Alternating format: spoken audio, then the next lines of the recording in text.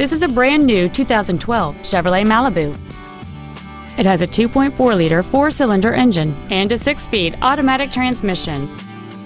All of the following features are included. A low tire pressure indicator, traction control and stability control systems, cruise control, an engine immobilizer theft deterrent system, a passenger side vanity mirror, OnStar, an anti-lock braking system, rear curtain airbags, a keyless entry system, and satellite radio.